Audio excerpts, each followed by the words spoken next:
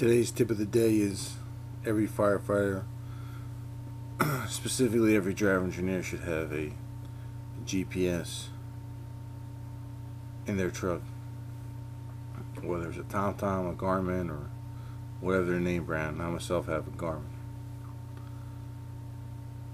You should, if you're on duty and you respond to calls,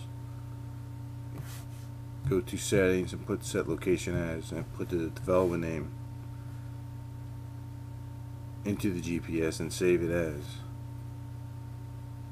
so when, when you respond to the call you can just go to favorites scroll down to the development name and you'll get to that general location again before you go to duty you should be driving around your zone, familiarizing yourself with your zone. And while you're driving around, put in all these different development names into your your GPS unit. that way, when you have a development name, you just go to favorites, scroll down, and your GPS unit will get you there.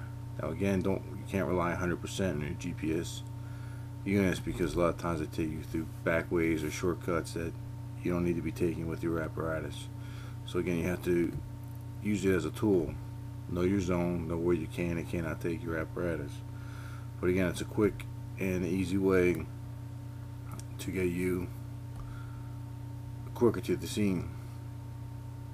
While maybe your uh, officer is looking out the call to the exact building number and location once you get to the complex. But at least you